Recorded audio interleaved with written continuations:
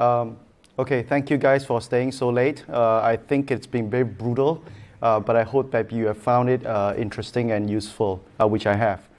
Um, so we have got a lot of sessions in the morning, uh, not morning, I think after lunch, um, about the Google uh, machine language, ML, the AI piece, NLP. I'm did the presentation on the language corpus as well as application of ML, right, or, or NLP. So I want to switch gears a little bit, right? Because all of this is within that uh, GCP or the cloud platform or uh, an enterprise data center, right? It all happens there. What I want to switch gears about is actually talk about what happens to your end users at the end of the day who is going to consume the content or the application or the service. So just a quick um, advertisement uh, on Fastly. So it's a company which was actually uh, born in 2011, um, and it was actually listed about six months back. Unfortunately, I joined the company after it was listed, so I did not get any stock. So that's, that's a bummer. But I still joined the company because of the technology, right? I'm, I'm really, really uh, impressed. So just a quick check. Does anybody know what a CDN is? Right? Okay, good. Um, the rest, because I just did a poll uh, early in the morning, and it seems that not a lot of people know what a CDN is. So I just do a quick quick overview of what a CDN is, as well as you know explain uh, what the modern CDN actually looks like, right? So Fastly has got many POPs around the world. POPs means uh, points of presence, right? What it does is that it deploys um, very big servers around the globe so that you don't have to, right? So that's one. Two is that we have created new technologies um, to serve, better serve, and deliver content and application and services. What it does is that, so think about it in, in, in the 1990s. Uh, a lot of you are very, very young, so you probably do not know what internet looks like in the 1990s. But I had dial up at 2,400 BPS, uh, Hayes modem, that was terrible. And right now we have very, very blazing fast internet speeds. But during that time, the internet was relatively unstable. Peering relationship transit links between carriers were actually problematic, so you got packet loss. Quick question who knows TCP IP rather well? TCP, great, fantastic. So you guys know, right? So between uh, two machines or two servers or a browser and, and, and uh, a, server, a web server, you have you, the base protocol of the internet is actually TCP IP, right? You got SYN SYN-ACK, you are able to, to communicate and in a reliable manner. Unfortunately, because it's a reliable protocol, um, which is good because at that time internet was prob- problematic, if there was pocket, packet loss, what it does is that it does a retry timeout right? So the packet on the other side will wait for three seconds and then resend the packet again, right? And based on congestion window size and stuff like that. I'm sorry, it's getting a little bit warm.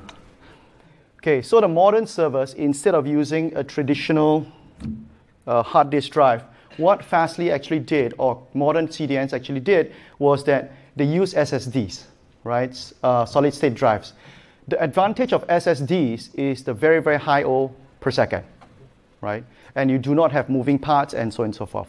Now, the problem of SSDs is that they're reli- they are liable to fail after some time if they do extensive reads and writes. So, what Fastly did um, is actually created a file system just to address that. And over the past um, 2011 to 2019, it's been really, really la- relatively stable with that new file system that we've actually created. So that's one. The other thing about the internet, it's like it's quite reliable until it's not right? Internet itself, it's based on a network of networks. And how they actually route traffic is via this protocol BGP, Border Gateway Protocol, right? It's, it's very, very good. Um, it's very lightweight protocol and which BGP routers actually transfer uh, state or, or vector-based information about which route to actually route the packet to. So, but however, it does not actually take into account load or latency, right? So what Fastly actually did was they created, our founder actually doesn't like routers very much, right? Because it's, it's really expensive for what it actually does. So they created this thing called uh, our machines. We actually built custom BGP routing rules within the machines itself. So think about it. You are used to going through, example, when Sing- Sing- Singapore, right? You're connected to via Singtel. So Singtel is connected via StarHub. It goes to Cogent level three, and then reaches Deutsche Telekom to your end user within Germany. This path is actually pretty crappy right now. what does it do? BGP doesn't allow you to change anything because you know it's not based on performance or anything like that. Unless the whole thing fails, then you got you, you, you change your route. From here, if we know that this path is not working, via this intelligent BGP routing table, the server itself knows how to route via a different carrier, right? So that's pretty cool. I'm not sure whether, so from a networking standpoint, that's a pretty, pretty cool thing, right? Wait, hang on. Sorry. So how it works on the internet. So this is a quick view. Uh, Singapore, London, 250 milliseconds. It's, it's not rocket science, right? This is based on uh, physical distance, I mean physics, speed of light. It's about there, right? The other thing is because of the peering relationship between the telcos and the carriers from Singapore to London. New York, 300 milliseconds. Tokyo, it's about 200 milliseconds. Again, it's based on two big factors. One is on physical distance, and one is carrier relationship. So in China, where the, the north is China Telecom, south is probably dominated by China Unicom, the latency within a country, it's as high as 250 milliseconds. It's not because of physical distance, it's because they don't work together, right? So, so that's the concept of the internet. The other thing is packet loss, network issue, and unknown error. So when you think about a lot of performance um, from an enterprise standpoint, when you do ML, when you do um, various stuff, you are always thinking, or one will always think that it's within a, uh, an environment that you can control. The internet you can't. What you're thinking about here is in the in a in a realm of microseconds or picoseconds CPU speed, right? Unless you're doing a, bu- a bunch of data processing where it take seconds or minutes.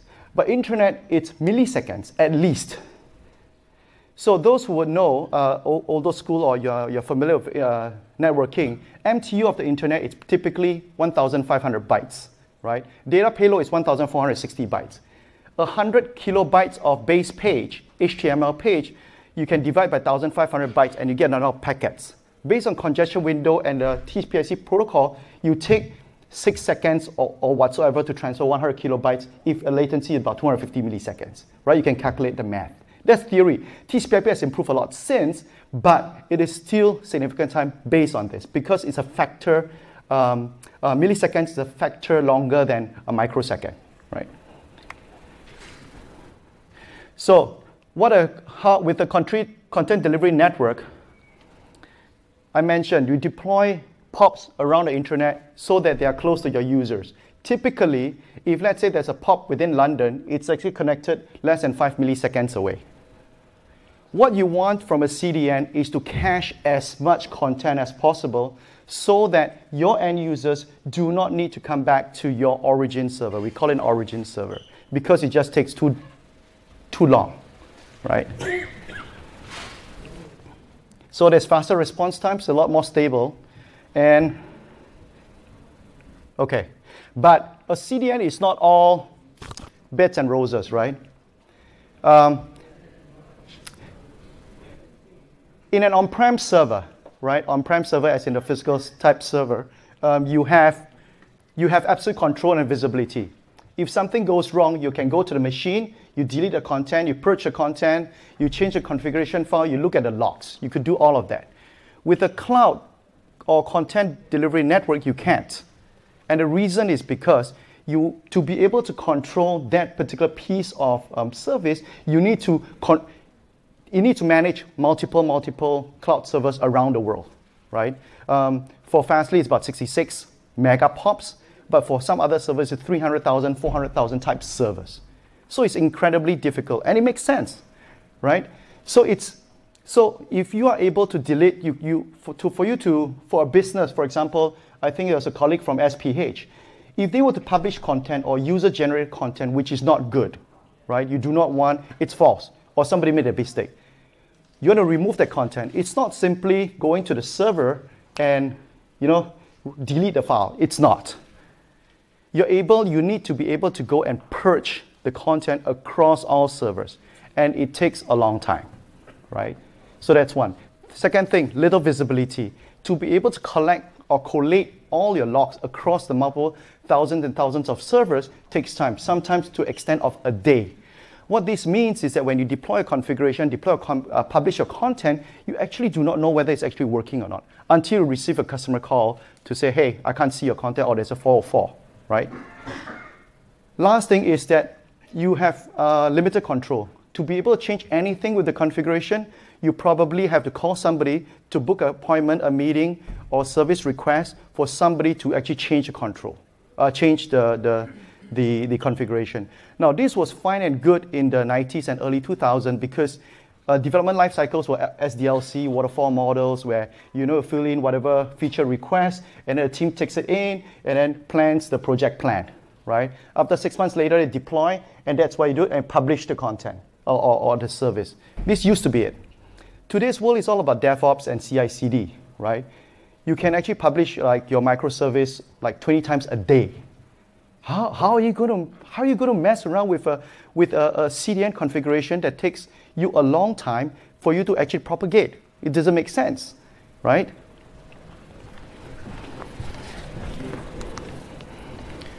Um, so. so the new technologies today actually um, addresses a lot of these.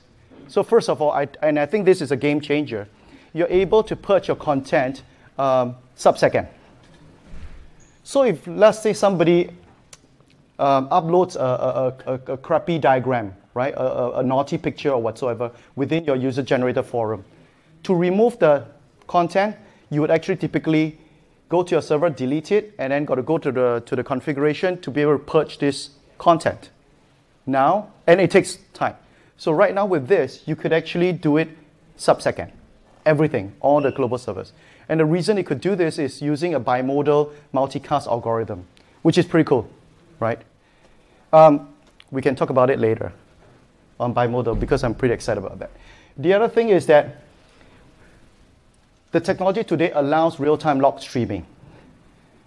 This has two purposes. One, you give a lot of visibility back to the customer and enterprise, the organization. You're able to see when you deploy a configuration, that means to say you publish a service, you deploy a configuration, you actually know whether it's working or not almost immediately. Now, think about it in terms of many, many things. One, it's WAF. WAF is Web Application Firewall. I'll talk about it later, right? You can have instant logs. The other thing is that flexible and real-time config change. You're able to deploy your configuration to all these thousands and thousands of servers almost immediately. The last we did an experiment is about 13 to 15 seconds. Singapore alone is probably about less than 10, but globally it's about 13 seconds, right? You're able to do it in 30 seconds globally, and it's all via API. Okay, now, quickly about edge security. Um, you guys already know, probably know about DDoS, right? DDoS is, it's, it's, it's a nuisance. Lah. Let's put it that way. There's a lot of traffic, junk traffic. The, uh, the, the, the, the aim is to bring down a service, right? But if you think about it, if let's say you're within behind a CDN, um, and your CDN only accepts valid HTTP, HTTPS requests at port 80 and 443, it's a no-brainer. Anything which is at layer 3 and layer 4, that means UDP floods, SYN floods, ICMP floods, everything is automatically removed or dropped. It's a perfect defense, right? Because it only listens at 8443 with a valid host header. So that's cool. The other thing is WAF. WAF is a web application firewall, right? Um, takes into account OWASP, you know, top 10 type rules that you are able to protect your web service or web server. Okay, it's you have you, you those who haven't had it should have a WAF, right? But the problem of a WAF is that it's a single, it's a bottleneck of requests. So if somebody wants to DDoS you, they DDoS your WAF, and then you're dead, right? So then the concept is it's a cloud WAF. You bring it out, and you have a lot of WAF to be able to defend you. But the challenge is again the same challenge of an edge or a cloud type um, um, defense mechanism, which is you have limited visibility and configuration change takes a lot longer, right? Um, the new technology is that because I just mentioned, right, you got instant instant configuration, and instant logs. You're able to manage your cloud WAF as if it's an on-prem WAF with the benefits of a cloud WAF.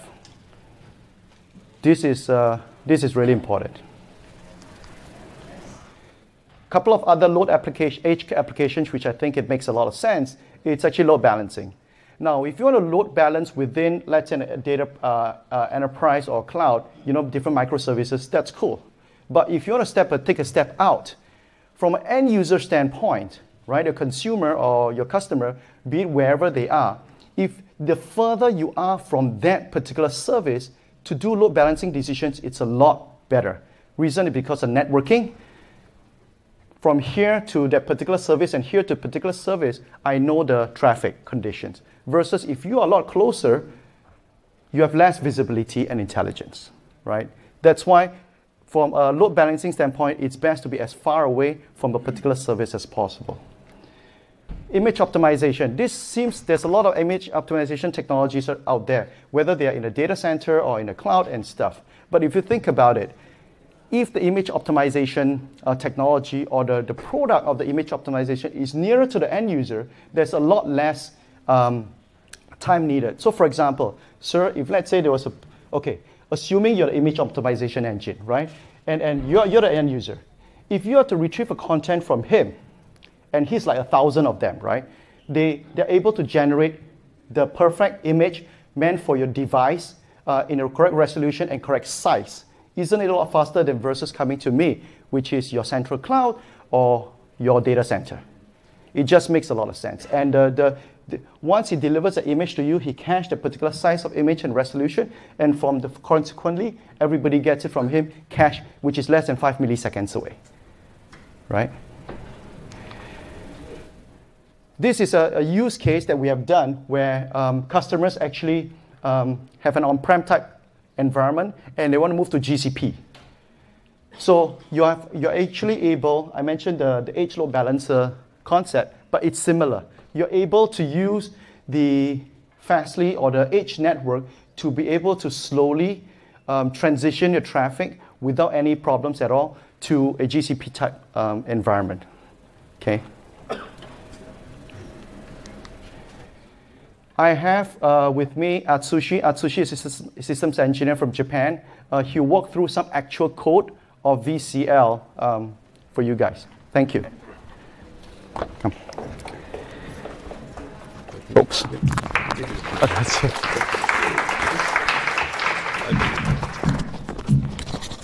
Oh, it's so warm. It's so light.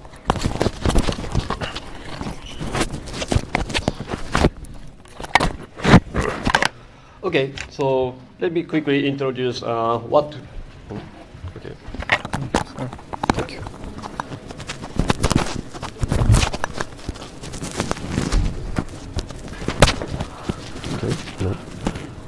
Okay. Okay. Okay.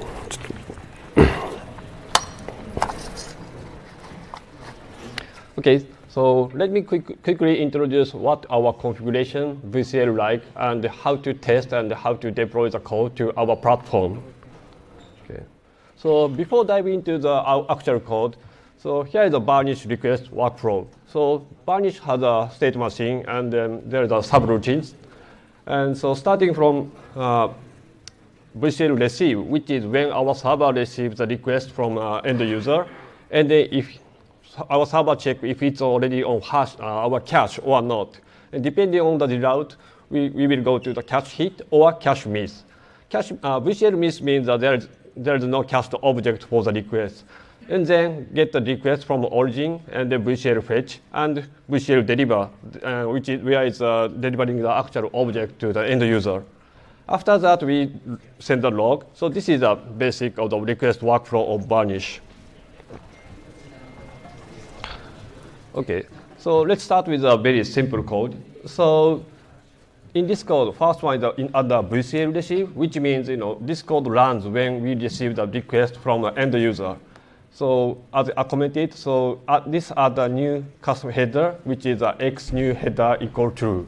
So with simple this code, you know, these are the this header to the request from end user. And the second line is a modify existing header. So you, we can override existing header as well. So in this example, overriding a user agent to my test user agent. And the third code is under VCL deliver, which means you know we modify the response headers from our server to end users. And this is unset HTTP server header. So we just remove this header from the response from our server to end user. And let me show our test tool. So,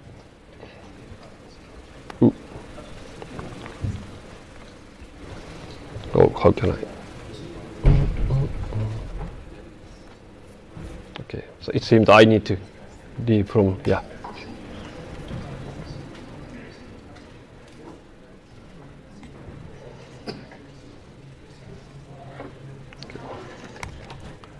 So this is the Fastly Fiddle, which is uh, our uh, configuration test tool. That is interesting because this is a VCL, uh, CDN configuration, but we still have a developer test tool. So you can put your origin server, so whatever you can use your actual web server, and you can put a VCL code here. And this is each subroutines. And then you can also set a path, and you can change the method. And you can also put add the header information here. You can even put the request post body here. And then you can, if you click the run, so then first we deploy this code into our network and actually send the request, and it will show the actual request header and all the information related to the request.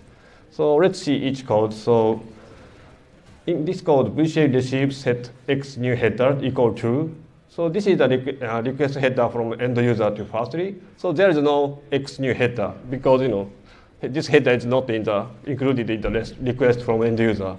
However, we because of this code, we add this header from our server to your origin server.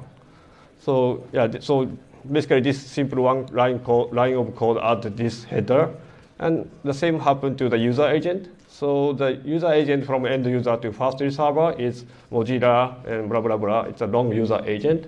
But we override the user agent. So the user agent header from Fastly to origin server is my test user agent. And then this is a delete response header from response, uh, from response for the response header. So you see that sorry, I missed. Yeah, so you see the server information from the response from the origin to Fastly. But for some reason, you may want to you know, delete or you know, close the origin server information. So if you add this one line of code, and it will, there is no server header information from Fastly to edge server, uh, to client.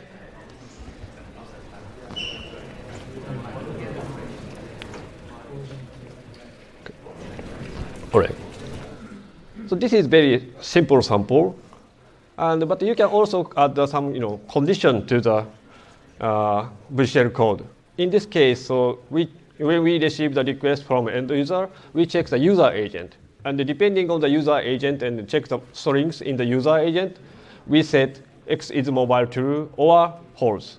And you can also add a multiple condition to the request. So condition. So, however, if the request has a cookie desktop mode equal, equal one, it always goes to the else conditions. Okay. For the sake of time, I, I'll skip the, the, the test tool for this. So you can also rewrite the URL. So when we, when, you know, when we receive the request from end user, we can check the requested URL. And if matches the conditions, we can override the request URL. So yeah, you can directly change the the request to get content without changing the request URL to the end user. So we can also uh, configure multiple backends as Zeck demonstrate uh, explained. So we can put multiple backends for in this in this simple code. So it just check the URL and then go to decide to go which backend to go.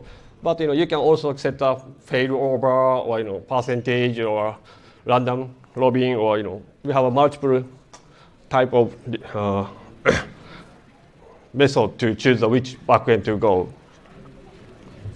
Right. And also, so we also have a you know, geo information, so you can get the geo information from our dataset. So this is very interesting because it just go to the VC uh, error in the VC receive, which means we, when we receive the request, we go to we send the request to the error routing, and then create the response at our server and send the response to the client with uh, this geo client information. So this is basically the API service. We receive the request and this, we return the JSON format response to the client. What is interesting for this sample is there is no origin server. We just receive the request from end user and return to the client. So this is a true serverless application. Right. Actually, we have a bunch of you know uh, sample code like this in our web website. So let me show.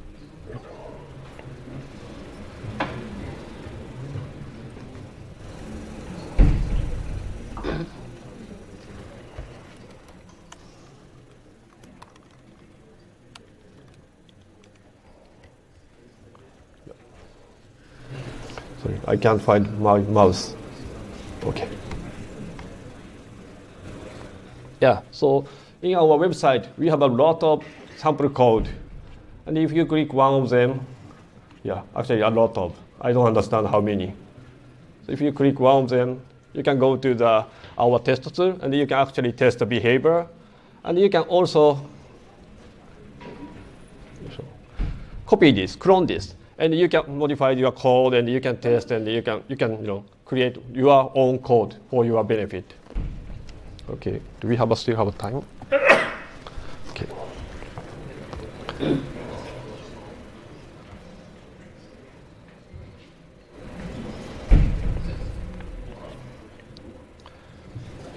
Okay, please let me quickly demo our product. So, so this is just a very simple website.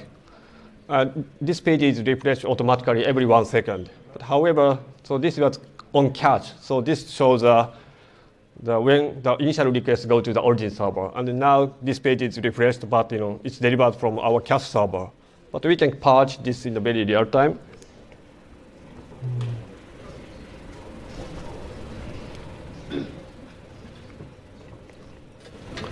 Okay. So we can patch content from via UI or via, via API code uh, command. So if I send this request, that this date should refresh. Try. Yes. So I will try again. Yeah. So it's almost instant.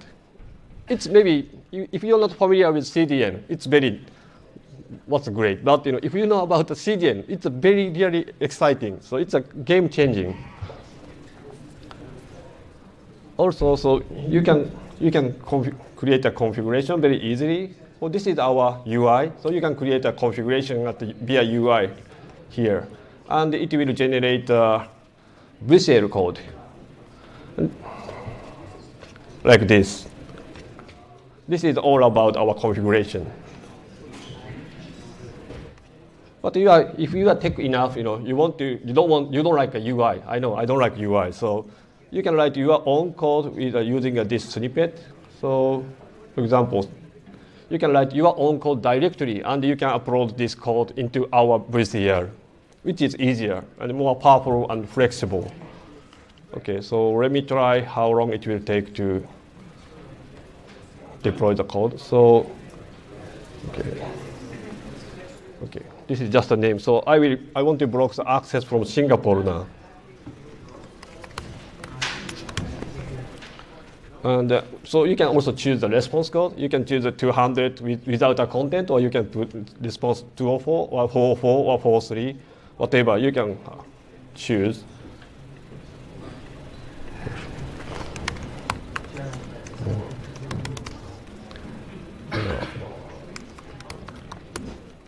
So you can also write a HTML code here.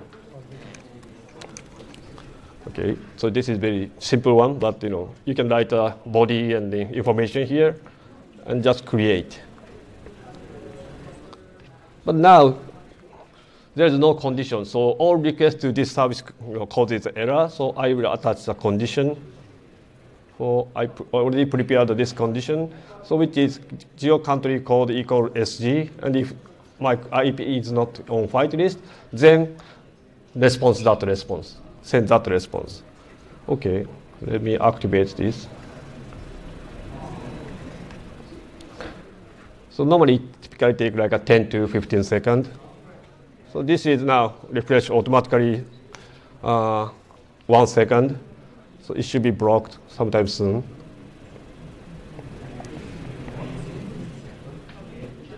Yeah, so and they also use the content I created. So this is also, if you are not familiar with CDN, this is nothing, but you know, if you are familiar with CDN, uh, if you know CDN, that is very fast. Yeah, okay.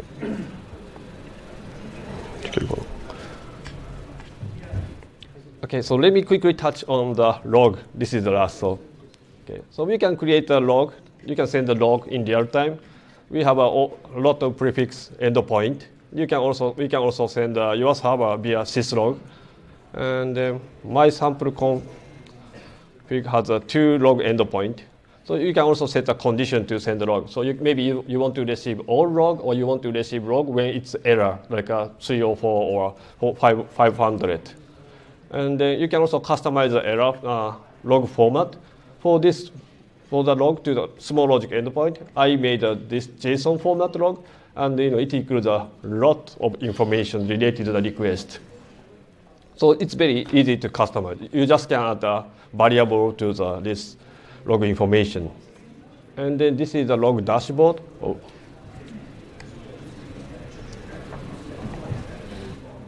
So this is the sample dashboard I created from the log information I send. So this is the uh, Sumo Logic. So you can create whatever dashboard you want. And the good thing about this is you can customize it, and also it's a real time. So you can, you know, you can create whatever report you need to, you know, to report to your boss or to check the, uh, your service status or everything. Yeah. Okay, let's get back to the presentation.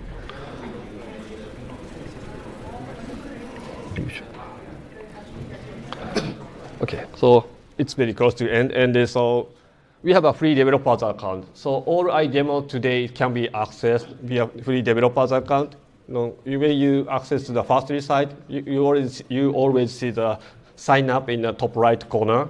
And then you, you just need to file the name and email and phone number, and you can create a test account. So if you have a interest, please, please, please try and touch and then contact us.